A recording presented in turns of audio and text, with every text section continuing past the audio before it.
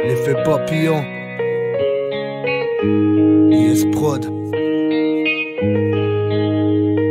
L'arsenic. Je pas poser mon genou à terre, tu sais, je veux pas me plier. Je pas forcément consentant quand l'état veut me piller. Vas-y, check ça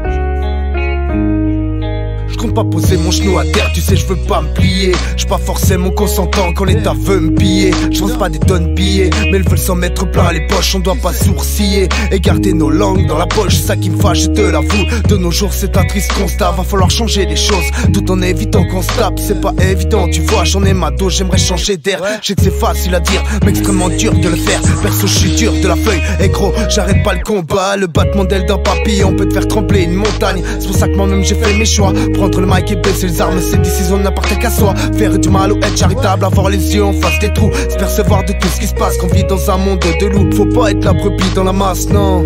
Un point c'est tout, moi cette fois c'est dit qu'il ne faut pas céder malgré toutes les pressions que l'on subit.